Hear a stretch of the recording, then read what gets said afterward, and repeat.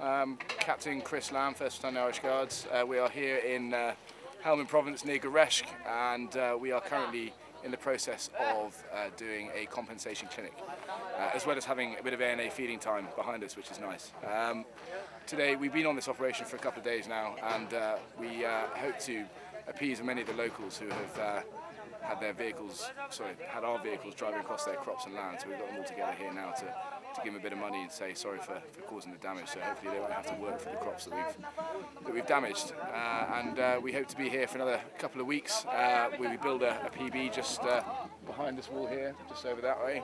Um, and uh, then we're going to occupy it with a couple of ANA uh, to provide a little bit more protection for this particular area.